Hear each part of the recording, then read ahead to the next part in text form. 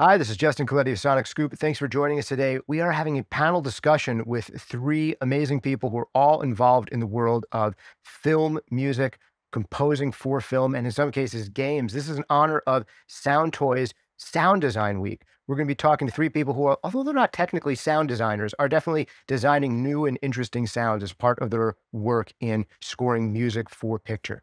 We've got Dan Deacon with us from Baltimore, Maryland. How are you doing, Dan? I'm great. Thanks for having me. Glad to have you with us. In case you're not familiar with him, Dan Deacon is a solo artist in his own right, a really distinctive electronic musician, but he's also been working in the world of film scores. Notably, he did his first score ever with Francis Ford Coppola, which is pretty amazing. And he's been working in that world more and more in recent years. Recently, he's worked on the new Adam Sandler picture Hustle for Netflix. He's done work with the New York City Ballet and a whole bunch more. So, really eager to talk to him. We also have with us Ryan Miller. You may know him from the band Guster. Excellent band if you're not familiar with them. And he has been working on an increasing number of film scores lately. Notably, Something from Tiffany's was a major score that he did that's uh, streaming on Amazon. Ryan, thanks for joining us from Vermont. How are you doing? Yeah, I'm good. We got it happening. We're on here. We made it happen. I'm so excited. Yes, man, you have like an army of synths there. We're gonna have to ask about toys are- and stuff that you guys They're like all, to use in the they're studio. all like M audio controllers I bought at garage sales for like nine dollars. They generate no Don't sounds. tell anybody. Keep the mystique. and also joining us from LA, we got Jason LaRocca, who's going to bring a different perspective from it. He's not really a composer himself, although he was in a really cool punk band back in the day called The Briggs, who you've probably heard, even if you don't know it. He is now really on the engineering side. And in addition to working on, you know, traditional music production projects, he's done a whole bunch of film scores for a whole huge swath of major movie releases, including Aquaman, God of War, Morbius, Unbearable, Weight of Massive Talent. He's worked on the game Fortnite, the new streaming series on Amazon, Lord of the Rings, Rings of Power, and a whole bunch more. So, welcome, Jason. Thanks for being with us. Stoked to be here and chat. Let's do this. Good stuff. As mentioned, this one is brought to you by Sound Toys. Big thanks to them for sponsoring this video, making it happen. They make some of my favorite creative mixing effects in the known universe. Try out anything they make for free for 30 days over at soundtoys.com. And if you're catching this video when it comes out, they right now have a sale going on. And the theme of that sale is sound design and music for pictures. So, really great fit. Big thanks to those guys. And I know all three of our panelists today are big lovers of these tools. In addition to many things around the business of doing sound for picture, the approach and creative approaches to making better, more interesting scores. We'll also ask them about their top three favorite Sound Toys plugins. So stay tuned for that. All right, let's jump right into it. I want to get one thing out of the way, which is sound design. None of you are like strictly sound designers. You're not making like the T-Rex sounds for, you know, Jurassic Park number 385, but you guys are creating your own library of sounds to work from. And that's one of the things we want to talk about is getting getting sounds, getting textures, and also just your process and approach to film scores and game scores where applicable, and how that's different than regular music production. So let's just get right into that with Dan. Question for mm-hmm. you. You've been doing film score stuff for years now. I think your first thing was with Francis Ford Coppola, and you've been doing more and more of them in recent years. Can you give us a sense for what your approach is like as a film composer, someone who's doing scores compared to your approach as just an independent artist of your own? Sure. It's a pretty different skill set in my mind.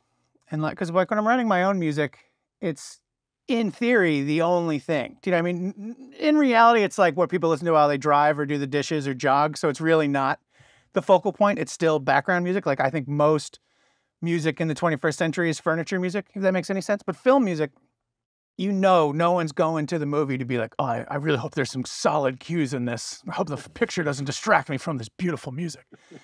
so when I'm writing my own music, as particularly like, you know, I got into electronic music because of, you know, timbral sculpting and, you know, timbral synthesis. That's like, I think why a lot of people are driven to either the studio or to electronic music. Like it's fun to be in a band, it's fun to pick up an instrument and play it. But there's a different pleasure in taking a sound and doing something with it. It's a very different experience. Like the same way that like composition is different from mixing, you just get a different pleasure out of it, I think. Film, I try to remember that it's a part of something else. So, you know, if I get the script or if I get like dailies or a rough cut, I try to watch it down and not let the temp have too large of a role. Like if anyone's not familiar, temp music is the music that the editor has already placed. so that um, they just have something to cut to. And there can be a lot of temp love, and people can fall in love with that, and that can really steer you in the wrong direction because no one hears music the same way. They might be latching onto it because of the bass, but you might be hearing the drums or like that tick tick tick tick tick tick sort of sound. So I try to just remove the temp as early as possible. It's kind of like starting a new relationship. You don't want to start it and be like, "Do you have any of your ex's clothes? Like, what were your favorite like nicknames they had for you? Like, let's do it." Like, like you don't want to enter a film that way. So I just try to think about what does this film sound like? Like, and sometimes directors will come in with a big playlist, or they'll come in with ideas, and that's great. And other times they come in without that, and that's also great. And I try to think about like, what are the macro sounds? What if it's going to have acoustic elements? What's the instrumentation going to be? How far can we push that into the realm of electroacoustic music? If it's all synthetic, does it need to sound real? Does it need to be like a synth that sounds expressive or is it deliberately not? Do you know what I mean? So just trying to think about where it sits, how it's going to sit with the sound design. If it's a sound design heavy film, need to make sure that it's not masking each other, they're not competing, or else it's just going to be a competition to see how quiet you can make something. If that makes any sense. So uh, I'm really rambling and I don't know how to stop talking. So um, what do you think, Justin? right, right. I think, some, I think some great insights there, and I wouldn't be surprised if uh, Ryan, you come from a, a, somewhat similar background, if you can relate to some of that. But what are some of the big distinctions for you between working in your band and creating your own music that way, and then making sound for other people's pictures? Um, well, I don't relate to any of that. I just think that's awesome. I wish that I had talked to you like 12 years ago. I feel like I'm just now like I think I'm working on my like 15th feature right now, and I'm just now getting to what Dan's talking about. Like, think I mean, I just I don't I never I never came from the place of sonic stuff. I I didn't come up as an engineer. I didn't come up as a mixer. I had made all these records and have continued to make records with like fancy studios and fancy producers, and like never cared about compression or EQ, and was like you know, and being like Bearsville or the record plant, and be like, oh, what's a Fairchild? I don't care. Like, what's for lunch? Um, this is something I've sort of I've been the accidental engineer. Like I just I just come from a much more compositional thing. I came as a songwriter, I came as a as a singer and a, and a melody person. So, I mean, I I I really respect Dan's uh, approach, and I and I want to. I'd like to hear him talk forever about it. I mean, it's completely different than how I approach film scores, and um, probably to my detriment. And like I'm a I'm a big melody guy, so I'm always kind of trying to like get themes in and okay here's a theme and how can we twist it? Like okay in this moment we're happy. Like okay at this point it's dark. Can we make it lighter can we can we change the textures a little bit? Can we kind of spread it out? So i i come i at least that's like what i was trying to do at the beginning of the thing is like i try and have themes that mutate and try and have things that kind of uh, textures that come in and out that kind of follow along with the arc of a of a character of a story so I would guess, uh, Ryan, that maybe building a team is maybe slightly more important for you than it is for Dan if uh, you're really trying to focus so much on themes and creating music that's going to take us through the piece that you might be collaborating with others for things like orchestration or engineering. What kind of team do you have to build to complement your skill set? Yeah, I mean, honestly, I just took on a, a writing partner. So this will be our third film score working together. And it's someone that's like way better at this than me, who you know, went to Berklee and knows how to uh,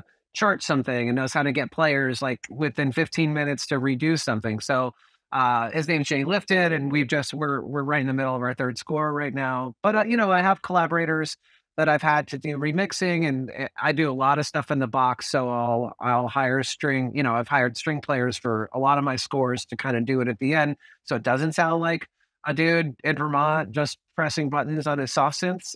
So a lot of that stuff comes later, but it's not really like it's not what's great about my film scores. I think it's not like oh look at the sonic majesty that is galloping across my screen, um, but it is something I really appreciate about film com- composition and really great composers. Yeah. Now, Jason, you have a really different perspective on this because you're not usually the one writing the stuff and you're collaborating with writers as their kind of engineer who is trying to turn this thing from a collection of nicely recorded themes into a beautiful sounding, impressive final mix. What's the difference between approaching this stuff for film compared to just working on normal music production projects? Well, it's interesting. Like there's there's sort of a, a a, number of great things that you guys have touched upon, Ryan and Dan. Like so many great things that could be covered. One thing that's interesting is that sort of the style of the score, you know, for a film can dictate how much somebody like me would get involved in a film. You know, there's there's some film scores that are just a guitar and a vocal, and that's more or less done by the composer, and and it's sort of done. But there's a lot of there's a lot of film scores now that are kind of some stylistically that are very different, very hybrid. You know, hundreds of tracks, sometimes even thousands of tracks of stuff that you know, the composer's writing, trying to get things approved, and and right at the last minute, when we have two weeks before the film is finished, they decide to record everything, but they record everything completely separately. It's brass, it's strings, it's woodwinds, it's choirs, it's vocals, it's like 25 different soloists recording in all their different respective homes and studios. And in a process like that, the composer would get completely overwhelmed having to think about okay now i have to put all this together and mix this and my brain is fried i just got the last piece of music approved and i just wrote 120 minutes of music and and, and what do i do? And that's usually where i come in the process a lot of the time now in modern film scoring was like you just got a mass of crap that has to then be put together and quickly and efficiently and then mixed you know in, in usually 7.1 or or even higher sometimes these days so like that's where, you know, these days that's where somebody like me comes in is sort of like at the end of the process. I mean, I've I've come in at the beginning of the process too, where it's like, you know, I've had, you know, guys who are just doing their first film score and they they kind of know what to do. Sonically, they're really great, but they don't really understand like Dan's talking about temp music and things like that. Like these are sort of ins and outs that are more specific to the process of a film that that a young composer may not understand or know what to do with in terms of well how much time do we have? You know what are we doing? How do we get a director to not fall in love with the temp and fall in love with my music and sort of like holding you know his or her hand along in the beginning trying to find that sound find that balance between you know creativity and making the director and producers happy and and actually approving the music there's so many different uh, like dan was saying that you know the picture is we're working for the picture and for the dialogue you know? And so as opposed to making a record where we are the focal point you know the the band or the artist is it. And and that is the focal point versus in a film there's a lot more of a collaborative thing going on where there's there's people who their interest is how do we make these sound effects great? And there's there's guys on the team who their interest is how do we make this dialogue sound great? And then there's a music team who is there to sort of support the whole thing underneath and and you know maybe at times it's a lead sometimes with musicals and stuff like that but it's usually just supporting a, a sort of a bigger picture as it were to to use the word. And so yeah, it's it's definitely a different approach, but at the same time, I come from an album background. So for me, I approach films in sort of like a I'm very DIY and and and kind of just you know everything to me is like well that's and that's what I really like about Soundtoys too is like it's very easy to use that stuff. And so for me, you know, I'm not like a super technical guy. So using Soundtoys plugins for me is like I can get a really cool sound and a great tone pretty quickly and easily and in and in film music that's that's something you kind of speed is a big part of the process whereas in making an album you've got however long you need to make the album make it sound too much time. Too much time. Yeah. Well, let's talk a little bit about textures and sounds because I think that's one of the things that's going to be fun to geek out on, especially when we're working with a company like Sound Toys, where they make tools that are so awesome for creating new textures and sounds. Dan, when Ryan was talking, he was talking a little bit about how much he likes to prioritize writing a really great top line and he's really focused on melody. I don't want to put words in your mouth, but I'm assuming just from your personality that maybe you focus a little bit more on textures first and then melody second, or is it the other way around? What's the approach for developing the sounds that you're going to use in a particular score? How do you settle on what kind of sounds you're going to end up using? And then how do you go and start inventing new types of sounds to appear in a picture? It's definitely texture first. Like I always wish I could just like sit down at an instrument and melodies fall out, but it's like looking for tiny pieces of plastic at the beach for me. It's just like pure tedious hell to find a melody. And I you know, I I like doing it, but it is it is not what comes quick and easy. I like to think of and this is independent of film scoring, but making music in general, the reason why it's my hobby is it's a lot like an artist who takes out a sketchbook and you're just sketching. You know, it's not for anybody else. It's just like a blank page. Who gives a shit? And then when it you you make something that you like, you're like, oh, this is worth saving. Uh, uh, this is worth keeping. I can do something with this. What is it? What's it? What's it going to be? And with film scoring early on, when you most films hopefully have a variety of moods and places you could go.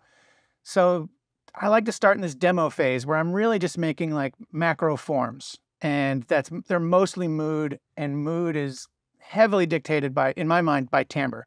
Maybe it's like the overtones or what, but of course harmony plays a massive role. But I tend to stay away from melody until I know that emo- the macro of a motif is there. And I, this is particularly true, I think, in uh, nonfiction film, uh, where like it's such a malleable picture. Like even after picture lock, there's like I work on some projects that are like picture lock V5 to be changed. Like, and it's like, who's who's what is the lock on your house like? Like, what are you doing? This is not locked whatsoever. But that's how it works. Like sometimes I'll be working on a doc and they'll be like, "Oh, the lead person went to prison last night, and uh, if we don't include that in the film, we might as well not release it." So uh, can you write a theme for what's going to happen to them in court in four months from now? So try to, where with narrative, you get a script, it tends to stay pretty close to the script. And that's when I lean a little bit more into writing thematically or like leading with melody first, if that makes any sense. But it's really just picking out, all right, so all right, all right, all right let's get real, let's get real. Um, so I figure out what the sounds are going to be. Like, uh, who, who was trying to interrupt you right there? like, it's the, the other me in my brain being like, "Shut up, shut up." Um, anyway, so I had a little. I like coffee. the Dan uh, show. I want you to just keep great. going. I'm here for it. I'm just drinking my coffee. I'll just no, let, let, let, You I find love your the Dan sounds, show. you clean them up, and then I like to work more and more with improvisers, chopping up sort of like a Brian Eno approach, but building more of like sample banks and sample libraries, like finding individual sounds, finding things that would take forever to program in MIDI, expressiveness, individual notes, and then collaging them together into um, into melodies or into textures or into pads. And then seeing how it fits and laying it in with the rough cut, seeing where the dialogue is, seeing where masking could occur, where you can dip in and out. And I tend to work pretty like left to center style production, so I can get pretty out there and trippy. And that's where, you know, plugins really become fun. I used to never use them until Dan Rome at Sound Toys was like, Can we give you one of our plugins to try out? And I was like, I don't know, I don't use plugins. And he's like, What do you mean you don't use plugins? And I was like, because my show used to be like, I guess it still is, the most rickety laptop I had because if it got smashed or destroyed, it didn't matter. Hmm. So I just wanted to run like bare bones stock stuff. And it's more like I didn't want to be like tempted. It's like getting offered a first class flight knowing you'll, I'll never be able to fly first class ever again. I kind of like just didn't want to know. But then as soon as Dan got me like a like any good like a dealer of narcotics, they knew I was like in for life. So from there, like now it's like impossible for me to not throw like decapitator on just for a little saturation on a soft synth just to give it a little life and leaning into things and like having things just like I don't know. And crystallizer is really fun in the opposite respect where like if I know I'm not going to be using synths, but I'm demoing with synths, I can throw a crystallizer on there on its own channel, record that, and then reorchestrate that. So I can have the same like melodies and texture and get the range information. To me, it's all about the idea generation. And like Jason was saying, it's getting as many ideas out of your head and into a file that you can share with a huge group of people that are going to come back and say like, no, no, maybe, no, no, no, could be okay, yes, yes, yes. Taking all of those and hundreds of channels and not really mixing them because you trust someone like Jason at the end to really mix them and clean them up and get them in there. Because it is like that. Like when I, I did Hustle was my first big, like large production with like a full orchestral recording. And I never in my life would have thought like it would have made sense to do exactly what he said, like compose for like six months, going from like the director's perspective, uh, the studio's perspective, and Netflix's perspective, combining all those ideas over a huge period of time. And then in two weeks, fly to London, record it air, send it to LA, mix it in five days, and then it goes to the stage and the whole thing is mixed. Like it just seems completely and utterly insane. But I couldn't. If I had started with the orchestra, we would have had like, what, 95 orchestral sessions where we're going through and editing and micro tweaking. And the good thing about it, and this is now what producers want, but the good thing is once you're on the stage, then you can really like, you know, what are they going to do? We're already recording. You can't go back and do it again. Then you can like lean in a little bit more, lean into those like extended techniques and find see what the orchestra the sweetness of it is there. But when you don't have that, that's where plugins come in. When you when you can go in and find that sweetness yourself because I don't know if I'll ever get a full orchestral session again. And you have to make these everyone wants everything to sound as real as possible. And if you don't have to tell them it's fake, most people think it is. I think most people that are outside of audio production aren't thinking there's orchestras in everyone's little box. I don't think they're thinking about it at all. The same way that no one knows that it's like a guy playing the organ at the Rangers games. It's just music. It's there. They're not thinking about how it got made. No one wants to bite into a cake and be like, how does the farmer treat the chickens who lays the eggs? Like, it's just, I want to eat the cake. So, I don't know. Does that make any sense? Definitely want to eat the cake. Yeah, that's good stuff. There is a subset of people who care about how the, the farmers treat the chickens. However, yeah, most of the time you're not thinking about that while you're eating cake. Uh, Ryan, similar question for you. You are so top line focused. You're really focused on writing melodies and themes being the most important thing. But I'm curious, what comes first for you, like the sonic palette or the themes? Like, are you coming up with like, here are the voices and the types of instruments and sounds we're going to be using in this film. Now let me write themes for them. Or are you starting with themes and then figuring out palette later? How does that break down? I mean, I usually like my my speech with the with with directors is usually like eighty percent of the work is in the first three cues, right? It's like by the first three cues, the first three approved cues, you've got your colors, your textures, and your melodies. So a lot of it is just like those conversations about like what what's our landscape going to be like. So the last two films, not the one I'm working on now, is with uh, this guy Daryl Wein, and the first one he was like super obsessed with Jon Brion. So that's a blessing and a curse because I love him as a film composer, but it was all about, you know, mellotrons and harpsichords and vibra, you know, vibraphones. And, and so it was like, well, how can we do this and how can we kind of get out of it? So it was like, we kind of stayed in that palette just because after a while I kept trying to get out of the box and we kind of kept coming back in. But then on the last one we did, it was a it was this big rom com for Amazon, the biggest budget movie I ever worked on we were going to have access to strings and horns and woodwind players at the end, and he went very Hollywood and big. So we used a lot of soft synths, knowing that we were going to go and be able to use real players, and we were we recorded to 45 people at the end. So obviously, those if you're writing a big, slick Hollywood something that wants to feel big, you're going to approach it in a completely different way than if you're going to do kind of a Jon Brion adjacent, quirky mellotron, you know, forward kind of thing. So yeah, I mean textures definitely are a huge part the sandbox that you're playing in is a, is a huge part of all this it's what it's what i like about film scoring it was my big sort of revelation was like i think limitations are one of the great inspirations for creativity and almost the smaller the sandbox the more i enjoy it because sometimes it's just like looking at a blank page like what the and that's what being in a band is especially our band it's like you know, our band's changed a lot in the last 30 something years. Our first record doesn't sound anything like our last record. So it's really, that's what I love about film scoring. I love that there is a beginning and a middle and end. It's like, okay, she walks in, she's a little bit mad. Okay, but then she pauses and then there's a moment. And then at the end, there's a little bit of a relax. So I love the assignment. I think the smaller I can make the sandbox, the more I feel inspired because I'm like, well, I can erase all this other shit. I just have to make this work within the context of a personality and textures that we've decided and you know themes and all that i don't know if that answers your question but unfortunately uh, you have two people that kind of can just like uh, recursively feed on their own mouth so they, you could just ask one question and we end up talking about box cake you know what i mean like how did it get here i don't know anyway did that You're doing fine, Ryan. You're definitely keeping up. So I have a question uh, for you to piggyback on that. You bring up the really specific idea of a, a particular scene that you might compose for.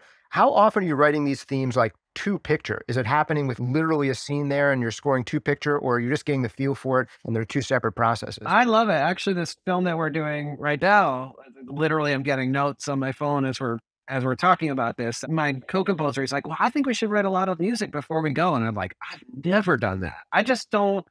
I like to know because then I don't know. I want to see it. I mean, I only know when I see it. When I put it up against picture, I don't know if it's working. I mean, I." I love, I mean, I got to say, Dan, I love the way it's actually really inspiring to hear you talk because I'm like, oh, that's a cool way to make music. I want to make music like that. But I don't do it that. Like, I just, I like, I want my assignment and I want to get in there and I want to be able to know if it's going to work. And I know instantly if it's going to work and then I can tweak it against picture. But I don't have like an idea about a film and be like, oh, this is this is gonna be majestic and it's gonna be like winter and, and frozen grass. You know, I just I can't I don't really work that way. I, I love I know people do and I really respect it, but it's I've never really had success that way. I don't know if it's successful. I don't know if that method is. To just throw that out there. I don't know if it does work. so, just because I do it doesn't mean it's right. Uh, Ryan, one last question uh, on there before we move on to get uh, Jason's perspective on this. But when you are creating new sounds out of mostly, I guess, real instruments that you have in the space with you, how much of the sound is coming from the way you're recording it going in versus using crazy effect afterwards on a really plain sound. I'm such a shitty engineer, and it's just like it's really, a, it's really. I'm sorry that you got me for sound toys because I'm the wrong guy. Although I do this, I do, I will say that plugins are the thing that I kind of have started eh, to help me a lot. Like just the idea that you can, you could hit a, a, a mug and then that sounds like crap, but you pull it through, you know, the plate right now, you know, like and all of a sudden it's it's has it's musical, you know, and you can pull the you know the bass multiplier down, and and so I really found I do feel like I use um, plugins as as instruments a lot of times because a source of anything it's just it's it can be garbage, and all of a sudden you do put a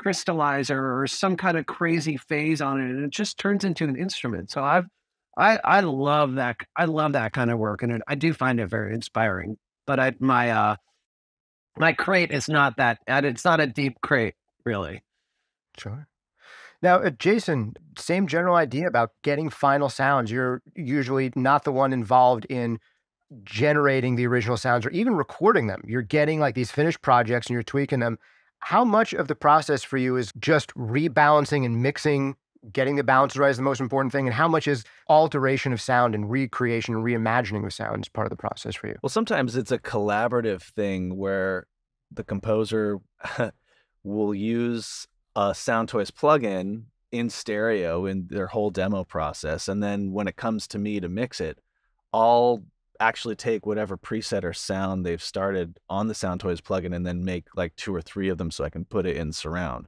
so i'll put like one Echo Boy on the front speakers, one Echo Boy in the side speakers, and then one Echo Boy in the re- in the rear speakers. And put them all like a little bit different. There was actually a film Paddington where I was working with uh, Nick Urata, the composer, was obsessed with the preset Starlight on Echo Boy.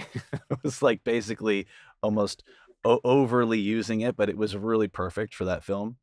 And rather than print it, with this the Starlight preset on the piano. We actually printed it dry and then I put my own surround version of it basically on the piano. So like in the writing process, it was like, wow, this is an incredible sound. What do you have going on in this? Like, oh, it's just a preset. It's just a stock preset on the Echo Boy. So we sort of made that a conscious sort of decision to kind of be like, well, let's let's sort of use that sound, but now let's make it cinematic and make it, you know, sort of in in surround. But there's, you know, honestly, if I had just just sound toys, I could probably mix a score with just sound toys. Sound toys and an EQ probably. I mean, I'll use the decapitator on brass, like on live brass, like all the time. You know, it's a lot of the times like the brass is is like uh, you know, written with samples and the samples sound incredible and they're like big and compressed and like doing this whole thing. And then when you record it, it sounds great. You've got live players and the melodies are all speaking beautifully, but you don't have that like thing where it's just hitting you in the face, you know? And um, I'll just put decapitator on the room mics. I don't care. You know, maybe it maybe uh, you know, a purist would would balk at something like that and say that's not the way you treat, you know, recording at air or something like that. But uh, I've I've had it work and and I think it's great, you know what I mean? So there's there's just a lot of I I just have you know plugins all over my my inserts like on all my templates so i've just got stuff kind of already there so i've got like you know my eqs my compressors i've got you know probably an echo boy on every single you know effects return so i've got like a, you know 20 different or 40 different uh stems for every single you know sound in in in the mix so i've got an echo boy on every return it's just sort of like uh it's easy to use and abuse. I get like you said, it's kind of like crack, like Dan said, sound crack five. Well, while we're on the topic of specific plugins and sound toys, I think this now is a good opportunity to give them a little bit of a shout out and uh, want to do a little bit of a lightning round here. So we're going to go in reverse order this time. All three of you, like what? Thank God. Going first has sucked, by the way. So I'm glad we're going reverse. All right. Well, we're, we're mixing it up. So, uh, all three of you, three top favorite sound toys plugins that you use the most often in film score stuff and why. So, Jason, starting with you this time, you already got a free one with Decapitator. You pretty much gave us the answer on that yeah, one. What would be your Decapitator's not a? Devil-Loc. You know, I'll use Devil-Loc all the time, I- and even just subtly. I know it's a super extreme plugin, but a little bit of it to me goes a long way on almost everything. Just so that you start to pull up that. I like to hear noise floor, or at least whatever's sort of there in subtle recordings. I like to bring that shit up. I like to hear that stuff just kind of. I want to hear everything, so I'll use a little bit of that on on everything, on every you know basses, drums.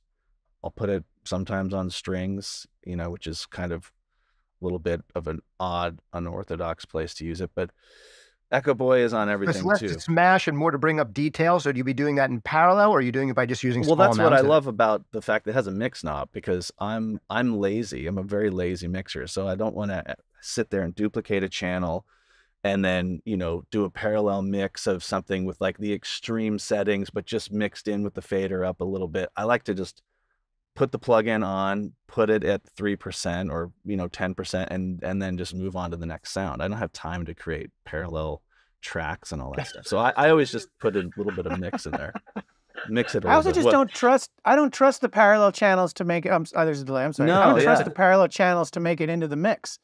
Like, if I'm handing my files off to someone I've had one conversation with over Zoom, and they see that I have all these parallel channels, and I just imagine those being like, "Okay, goodbye, parallel goodbye. compression. It's, You're it's goodbye. completely You just gone." no, yeah. I as soon as as soon as that because the Devil-Loc, whatever it was, the the junior or the the small version that came out didn't have the mix knob, and I was like, oh, this is a great plugin, but it's like there's no mix knob. And then when it had the mix knob, I was like, okay, this is going on everything because that's exactly what I need. I want to be able to move quick and just go, okay, that sounds cool, but I only want a little bit of it, and that's you know park it. You know what I mean? I love how much like it turns out that the kids are right because you. I remember like back in the day when in the box mixing was becoming a thing. There were so many things that big wig producers and engineers are supposed to tell the kids about how they're doing it wrong inside their DAW, and you're not just allowed to throw a plug in on everything and use the mix knob. You're supposed to set up aux sends. But you know, here we are a decade or two later. It's like, no, no, the kids were right. This is fast. This is easy. Well, This remember let's back in the day in Pro Tools, there was like a plugin that you had to put on every channel that like compensated for them all, and then there was like a master Right. plugin. Like before they had delay comp in Pro Tools, you had to do this Mhm. whole ridiculous freaking thing that took. We're like, doing whole- it back in my day in the OG. I don't even know if that's back in the day. It's just Sorry. I, for me I'm that sorry, was a I'm not back in the to- day. You know what I mean? Like Yeah, I would put up a, the same instance of the same plugin, but like have it be in bypass or something just to get the the, the, the Oh, latency right, yeah. from that So plugin. that every channel on Yeah. the drum kit had the same plugin on it because otherwise you would end up with weird fit. Yeah, that was that. That was Exactly, really yeah. fun. Yeah, that was was- good times. Now, Devil-Loc, Echo Boy, Decapitator, easy Sweet. top three. And why uh, EchoBoy instead of some other delay? I, I don't really need to do much with it. I I turn the plugin on and turn the saturation up a little bit, and that's usually like you know that's the sound for me. Ping pong, eighth note, and you know a quarter, and that's that's what I need. don't really need to do it. You know, I it took me a while before I even noticed there's that tweak button where when you press the tweak button, there's like a whole underneath row of settings, and I'm like, oh fuck. There's like way more shit I can do with this thing. That's like it's like finding out your girlfriend speaks Portuguese or Totally. something. You're like, You you're know what I way mean? cooler and hotter than I thought you were originally. And I thought you were super hot already. Like, this is amazing. It's a great, uh, it's like, I love that shit. Hidden gems. How about you, Ryan? I know you're, you don't consider yourself like Mr. Engineer, but what are your three your favorite sound well, it's funny. Like you know, I I started my film scoring thing right around the time, like you know, about twelve years ago, right when I moved to Vermont. And when I moved here, you know, Soundtoys is based here, so I met. You know, I met a lot of the people. I met Ken, and I got to go run around and see all the gear. And I was like, "What's that?" You know what I mean? So honestly, I kind of learned what plugins were by just learning what sound toy like what sound toy and literally the first plugins i ever had when i and i'm a logic guy just to speak to my you know my my Neanderthal sort of thing. It's like I I never learned really on Pro Tools because it it was explained to me by another film composer buddy of mine. was like, look, this is the shortest between thought and deed. It's just logic. You don't have to do rewire with reason and all this other shit. Like if you have an idea, it's the closest way. It was just the easiest thing for me to learn. So they literally they're just kind of synonymous with just making music for me. I really like the uh, micro shifter a lot. It just feels like it just helps me with spatial stuff again because I'm just not I don't think about a lot of stuff organically, so it just kind of that stuff. I do love the Devil-Loc and I love just like I love blasting the shit out of it and just like compressing the hell out of stuff, and that that sometimes that angry distortion is really good. And then, uh, you know, and a lot of EchoBoy, I always use that 15 IPS, like the Bruce Springsteen, like super quick. Uh, that little delay, I use it on everything. I use it on whirlies and I use it on voices. I just find like that's just, it's almost like you. I just kind of throw it up just to kind of give some space to my stuff because I'm not, I know, I'm, I'm not Jon Brion recording with a 13th century zither. You know, it just helps me feel like I'm a little bit more compelling as a, as a sonic presenter. Cool stuff. And Dan, you kind of started to hint at this as well, but uh, top three for you? I think the crystallizer. I love it as a synth, like thinking about feeding it. Um, How do you use it as a source? Synth? And I'm really curious, Dan. Just thinking about it as like not an effect. So if you get just the wet, playing with uh, like the detune in it, like on the, when you hit the tweak and you get that fine tune down there or whatever it's called, like playing with that micro tuning there, so it's not perfect in of itself. The way you can blow it out I guess that's true of almost all the Soundtoys plugins. I love that you can like really just smash the input so it sounds completely different on the output. And then just playing with the ducking, playing with, you know, going back and forth between gate and duck and sending it to something else and then reprocessing it, like recording it and spitting it out. I can get really out of control with the re- recycle and the repeat. And I don't know, it's fun to think about it as a, like a textural synthesizer, if that makes any sense especially when you feed two into each other and one's pitch shifting up and one pitch shifting down and they're just like feeding back like crazy, you can get a lot of really weird artifacts. And normally artifacts sound like crap, but I love the way Soundtoys can destroy a sound. Like you said, abuse a sound. It immediately sounds like its own thing. That's why I like throwing Decapitator on something. Even if it doesn't need any distortion, I want it to be clean. It's nice to have some timbral variation happening. I don't know if it's like placebo effect, but when I throw it on there, I'm like, oh yeah, it's on there. That sounds good. It's like when someone's like, you know, we ran this through a tape machine. Like, I don't need it. Sure, sounds great. Um, I guess, I guess yeah, a decapitator would be up there. It's hard to. I really love uh, Little Plate for the same reason because I can smash it out. But I think EchoBoy and I love Primal Tap. Uh, oh, the vocoder. I love the Soundtoys vocoder. It's my favorite effect, and I can't wait for them to release it and for it to exist. And I can't believe they haven't released it yet. And uh, make a vocoder what is wrong with Soundtoys for not putting out the vocoder that I'm begging them to make?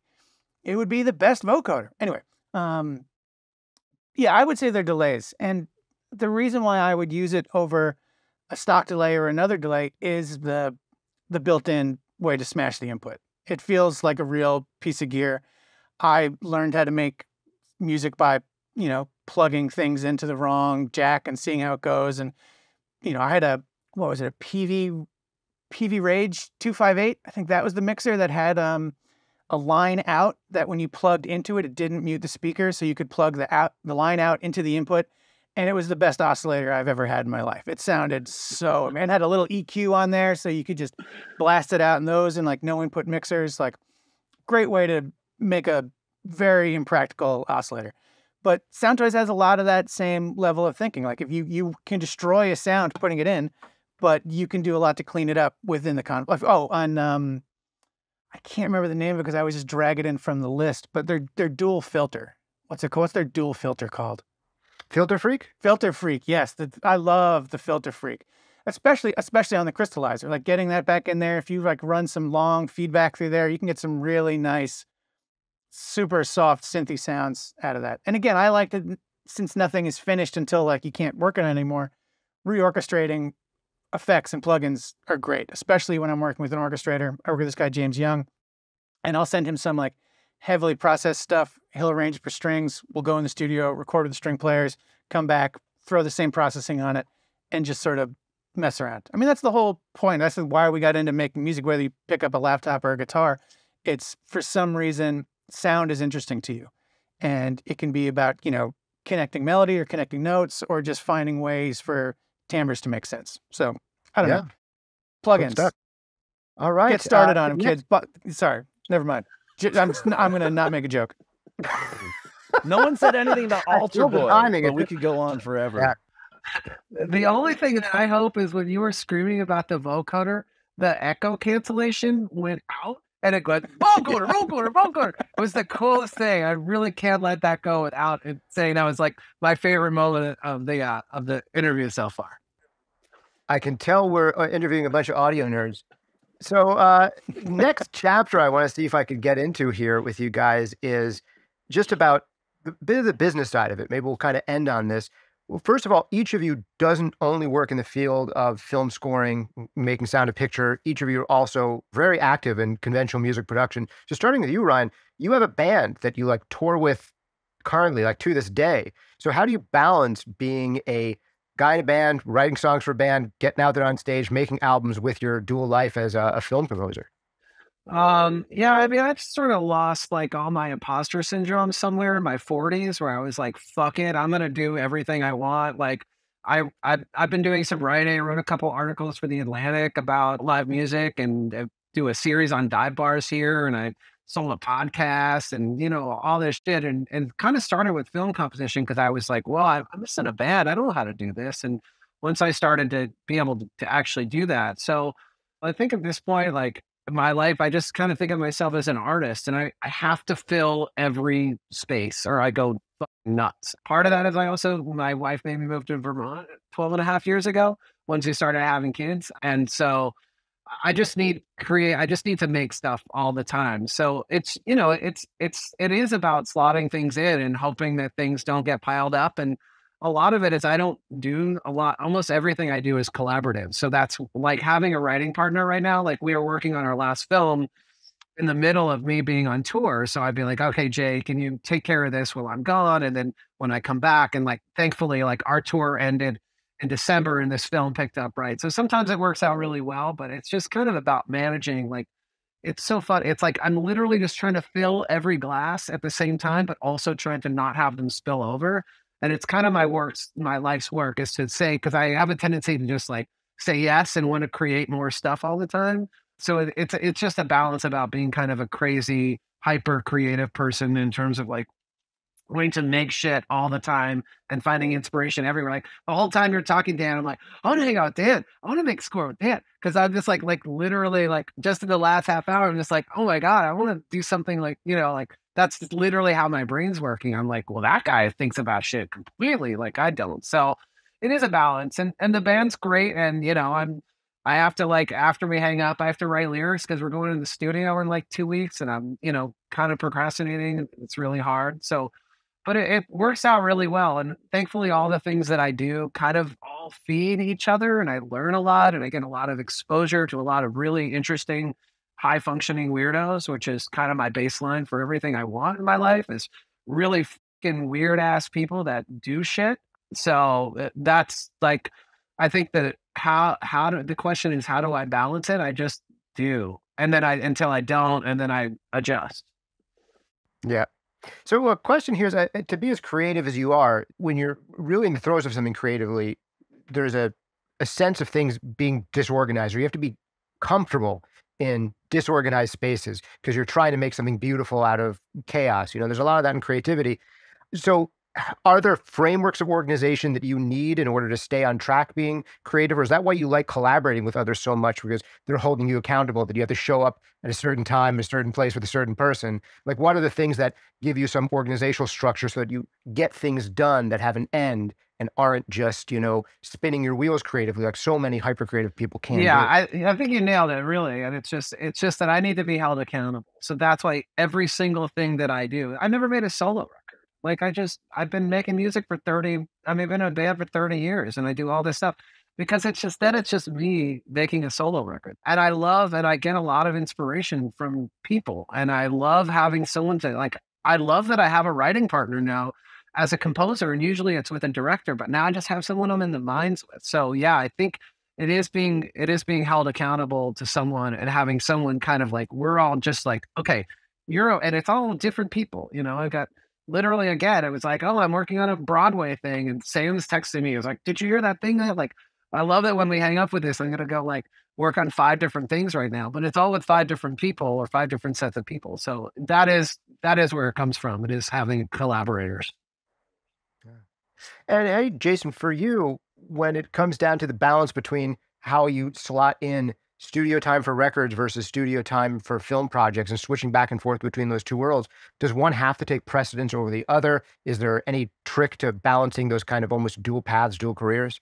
I mean i think you know ryan sort of said it right. It's just sort of like you you kind of just you sort of just do it until it doesn't work and then you know you sort of pick up pick yourself up and do it all over again when it when you find you haven't slept for five days in a row. It's just sort of you know i'm i'm just really excited to always be in the middle of something and in the middle of a project and in the, in the middle of creativity. So i find myself just sort of constantly pushing myself in that regard. So i, I probably don't need to be as crazy as I am working on a record and working on two films and five TV shows at the same time, like, you know, I am right now, but it's it's kind of what I, I feel like it builds a certain creative momentum and it kind of one thing feeds off the other. Like I think if you just work on film scores, you don't you only sort of get this one side, you know, and you kind of sort of feel like eventually maybe you're getting beat over the head by Hollywood and and it's all you know wrong and bad but then you do you take a break and you do a record and it's like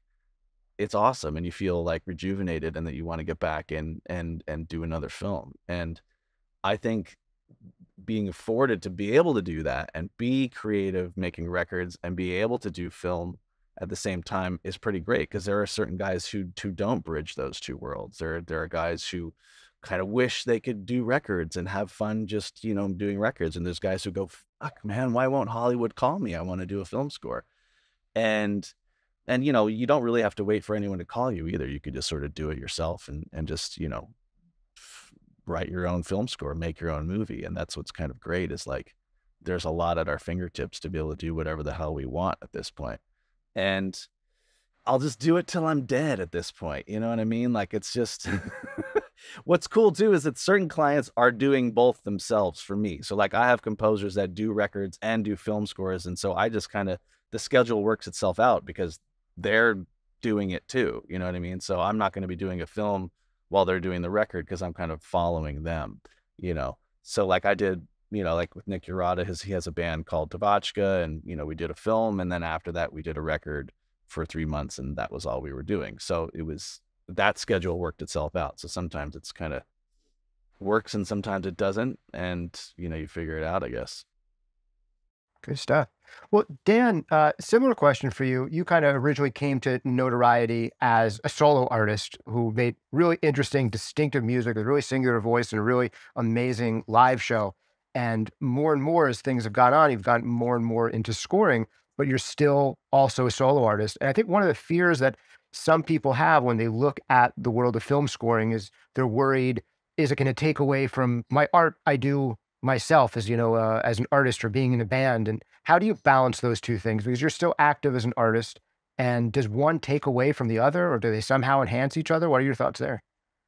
Well, they definitely enhance each other. I don't see how they could take away. I think kind of similar to ryan and jason where like everything needs to be filled. I think you can tell by the way I structured my sentences and talks and earlier on in this conversation. um, uh, my particular flavor of ADHD is like if I'm going downstairs to like get a cup and I see like the screwdriver is out, I need to put the screwdriver away. So by the time I, it's like that scene in the end of The Jerk where Steve Martin's holding everything. so like mixing and writing is like that as well. But early on in my career, I realized that it was two separate entities. There was making albums and there was touring. And I can't be in the studio when I'm on the road, and I can't be on the road when I'm in the studio, but I could always be writing when I'm on the road, and I could always be thinking about the live show when I'm in the studio. So it's a, that shared brain, that like one conversation on top and the other one in the back of your mind. And I been I've been scoring for a while, but I got really heavy in it during COVID. Luckily, I already had the work lined up I don't know how on earth I would have done it, scoring three films in a series during an album cycle. So COVID really like couldn't have come at a better time for me. But it's a separate slot in my brain. It's a separate job, if that makes any sense. And in a way, it's what my career needed. I wanted to, I didn't want to be on the road 250 days a year. I don't churn out music for my albums. I don't put out an album a year. Some of them are two to five years apart. There's normally like a pretty big gap in there. And I love writing music. It's my favorite thing to do. And it I didn't like how it became my economic my economic status depended on it. Like, is this melody gonna hit? Like, is this song gonna connect with like that sucked. And but it was a reality. I remember seeing Ian MacKaye do an artist talk talking about the importance of Dischord and making sure that Ian's music never became their job. And at that point in my career, I'd just become like a middle class working musician. I was like, what? I thought that was the whole goal. That was the whole dream. And they talked about the destruction of your hobby and how if your hobby becomes your job, it's no longer your hobby. And I wrestled with that for a long, long time. So now film scoring is my job. And I love my job. It's a job I love to go to every day. And because I have that separate spot in my brain, when I write music for me, it's completely different because every film is its own project. It's like starting a new band the, the and I'm coming into it late. Like normally the band's already formed and they're like, we heard that solo you did. Do you want to do that on like, you know, 30 times over 60 minutes once?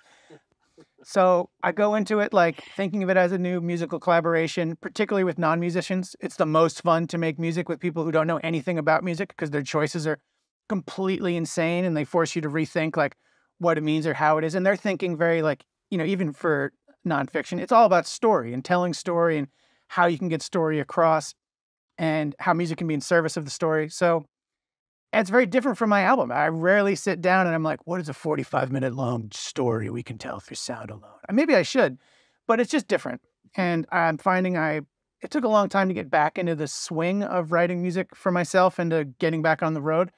But I don't want to punish myself for that. And it's, I find it to be fun. Like it's the kind of thing where it's like, I used to be writing music all day and, and then be like, how do I write music again after this for fun? This is ridiculous. My, my ears are fatigued.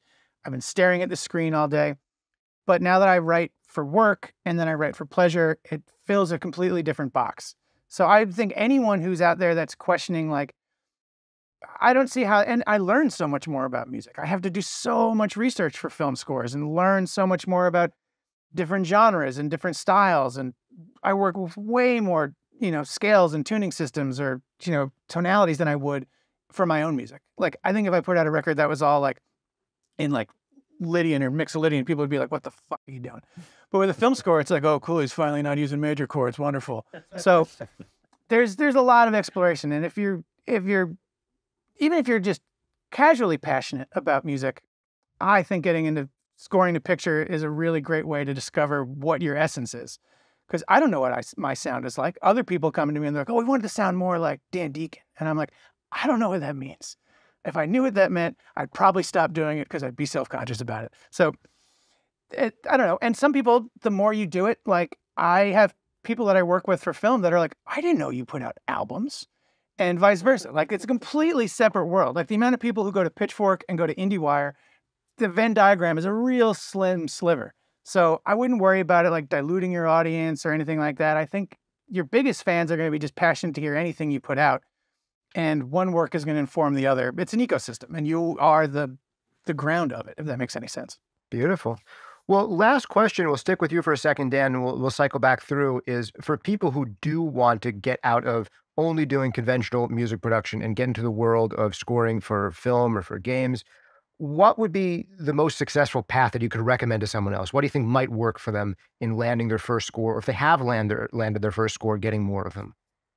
I think the best way. I live in Baltimore, which is not a, a film capital of the world, and I've lived here for the last twenty years, so I never lived in New York or LA or anything like that. And I'm a big proponent of not moving to large cities. I completely get the reason and the appeal, but for me, I liked being in a smaller community. And I think a great way to get into film composing is to go to the local film festivals around you.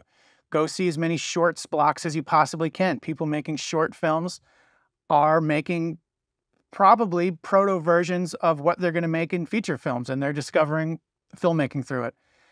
I meet a lot of people at film festivals that make shorts that go on to make massive, massive films. And it's a great way. And most people have friends who make music, but most people don't have friends who make music to film. So I would familiarize yourself with just, you know, if most early filmmakers don't know how to structure a cue sheet. Cue sheet is a great, great, helpful resource for a composer. Just having, and it's it's kind of like reinventing the wheel. Like the first time, like I came across a cue sheet, like me and another director, like, what if we had like a list of like all the pieces of music in the movie and like the times they started and like where they came out, and we are like, this is awesome. And we then on the next project, I was this. like, I like exactly. I started the next call like I was like interviewing for a job, and I was like, let me tell you about the spreadsheet that I like to use. So um but there there's a, a a beauty in that self discovery. I think maybe this is just me. My microphone keeps slouching down. Um, work with people that aren't. If you're going to try to go out there and score a major Hollywood film right off the bat, it's not going to happen unless for some reason you win two lotteries in the same day. Eh, start small. Go to a local festival. You don't need to move to New York, London, or LA. If you're there, do the exact same thing. See who's making small cinema now and try to see who speaks to you, who's making films that you really liked or that you think your work could elevate and connect with them. Just like the way bands meet. Like sometimes bands are like, how do you book shows? And it's like, you book, oh, how do we get on shows? And you get on shows by booking shows. You see bands from other cities that you like, you ask them to come to your town, you book them, they put you up. That's how a scene in a community grows. Filmmaking is the exact same way. If you like a an editor. You see, like, oh, there's this editor in town. Be like, hey, here's my music. Feel free to use it in your temp library. Here are stems. Here's anything. Any re- any way that you could get in the mindset of other people making film, try to become a part of that community. And if that community doesn't exist, try to form it. And it doesn't need to be large scale. The the first film I worked on had a you know twenty thousand dollar budget, and it played all over the world and it really broke both of us out. So, and not the Coppola film. The Coppola film's an outlier. That was an absurd situation. That's like, it, and the first film, to, to, to really quickly say it again, the first break I got was scoring for like one of the legends of the game. And then I didn't score another film for 10 years. It didn't like kickstart my career. I also realized I had no idea what I was doing. And it took like, I guess six years. It took six years for me to get back into the mindset of like, okay, this is what I want to do and I want to learn how to do it. And I did it with an emerging filmmaker who had only made a short. It was their first feature. It was my first feature length film score, in my opinion. And uh, I think that's the way. I'm a big proponent of organic DIY growth. You can shoot to go right into the NBA, or you can start playing basketball for fun, and maybe you'll discover a different path than just like fame and glory. Now, I don't think a lot of people are laying there being like, oh, I'm going to become rich and famous in the lucrative world of film scoring. I think most people are like, oh, I would love to ilk out a little middle class lifestyle in the possibly lucrative world of film scoring. But I get it. There's not like when I, I went to school for composition and when I got out of school, I was like, what a worthless degree. It's not like there's like orchestras like, where are obscure, unknown composers that don't know the nuances of all the instruments. so you kind of have to get into film scoring because it's the best way to to get ideas that aren't appropriate for a live show out into the world, in my opinion. So yeah, go to film Beautiful. festivals. Now, uh, Ryan, a similar question for you. How would you recommend someone go about it today who is looking to get out of just being in the band and start working in scores? I mean, Dan stole my answers. I mean, in a lot of ways. I think I think work finding young filmmakers is is huge. Like even going to the schools that are like have film departments and just showing up and being like, hey, like sniffing sniffing butts and seeing like if there's anybody that you vibe with or has a cool haircut. It's like, oh, you, you want to like you seem cool. Do you want to make some music together? And I think that's a huge thing. I also just I kind of had my big break when right after I moved to Vermont. You know, I You'd think I'd have to move to. I was living in New York City for ten years, and it was when I moved to Vermont that I was like, "Oh, I met a, a guy who had a script, and he's like, like my band, and he's like, "Oh, I'm, I'd like to. I, you want to make a movie?" I was like, "Yeah, I'd love to make a movie." And it was this movie, Safety Not Guaranteed, and the guy was Colin Trevorrow, and now he makes all the Jurassic worlds and got you know, and a whole thing. But like, I met him because we lived in Vermont, so I, I, I love the idea, and I think that's you know, Dan knows you live in Baltimore, live in Burlington, like it's like getting into a cool scene, like being in Athens or or Asheville or Savannah or like or some weird cool little town is almost cooler than being like I'm gonna pack up my things and go to Los Angeles. You know, like I feel I feel like it's it's probably really hard to go to UCLA and go in the film composition program because then you're out there. And I think Dan, you probably had a very similar experience that I did, and I feel like this is a wave. Is like being in a band helps so much because filmmakers want to hang out with people. Like that's literally how I got my first gig. Did you like my band? And so after it's like and and now people don't want films that sound like film music. They want it to sound like Dan Deacon. There's no way Coppola was like, oh, like it's either Teddy Shapiro or Dan Deacon. Like, you know, they wanted something outside the box. And as film starts to get like all the rules are being rewritten, you know, with technology and all of this, the more outside you can get, kind of the better. And so being being a like having a, a life and a career that doesn't just isn't so like, I'm gonna go to film school and I'm gonna learn this thing. I think the more that you can just like be a fucking weirdo in your life and make weird shit and also be a competent communicator and and and a hustler and work really hard that is a it's a huge thing but i i'm a big proponent of not being the guy that goes to school and learns how to do things because i just don't think that's what a lot of true artistry that's not they're not going to be drawn to you as a collaborator because that's not what people like cool people generally want. Now jason you come from a much more conventional background in the sense that you were playing in punk bands when you were a teenager, but then you started getting into the studio world as an assistant, working on film scores from like moment one. And you've just been working further and further forward in your career since then, working instead as an assistant, as an engineer, as a producer, as a main mixer on a lot of film scores. And you have an assistants to this day in your studio who are trying to take a similar path to what you did. And this is a path that used to exist in the music production world that has, I don't want to say disappeared, but it's not as dominant as it used to be, right? Where the producer was an assistant, an intern in a studio or an assistant in a studio, then they became an engineer, and then they became the producer. That path, although it still exists in music production, maybe doesn't exist to the degree it once did. But is it still a really viable path in film? Is that the path that you think is a good path for someone to take if they are in a major market like LA or New York, or you would you advise something different? I mean, you know, my path wasn't necessarily traditional in in in, in some ways. You know, I think like you know Dan Dan and Ryan sort of touched upon it. I think in in in just the right way. It's like I didn't go to engineering school. You know what I mean? Like I just was like in a band, just knowing that somehow I wanted to end up in a studio because I didn't want to work at Thrifties. You know what I mean? Like I just was like, somehow I have to figure this out. And, you know, and I had a friend who was like, dude, I I'm I'm I work at a studio, but I think I'm leaving the job and maybe you'd like to meet the guy. And, you know, I was like, cool, and had no idea what that meant. And I went and met this film composer, and knew nothing about film music and started working for him or was an intern for the composer and worked my way into becoming an engineer but this was all by just sort of figuring it out myself and like how because I didn't this is what I wanted so badly but I didn't have the credentials to necessarily back it up. So you know I had to work twice as hard or three times as hard as the guy with the Juilliard grad cert who came in going you know check me out you know I like like Dan was saying, like I'm avant-garde and I know everything and and you know, hire me. It's like I didn't know any of that shit. But I built my own home studio when I was 16 and I knew how to wire stuff and and I knew how to make a record. And I think that like Ryan is saying, it's like, you know, just be weird, do shit, meet people, be a social person, and in some way, either a traditional sense of like, okay, I went to film school or I went to recording school and I'd like to intern for you and and yes, let's let's bring you in or that you just meet people and that you end up in, in interesting places where you want to be. You know, we've we have internships here at the studio. So like everybody who I've hired as an actual assistant, I have I have four assistants. They were all interns here before you know, I hired them and gave them jobs. And there was a lot of guys who were here that sucked.